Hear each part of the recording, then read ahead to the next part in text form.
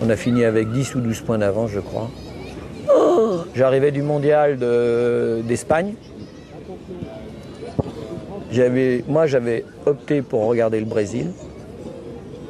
Je n'avais encore pas entraîné les pros. Et on a joué à la brésilienne. Quelle équipe Mais quel jeu on a eu et véritablement, ça a été super. Irrésistible. Vraiment. Donc individuellement et collectivement, c'était pas loin de la perfection, celle-là.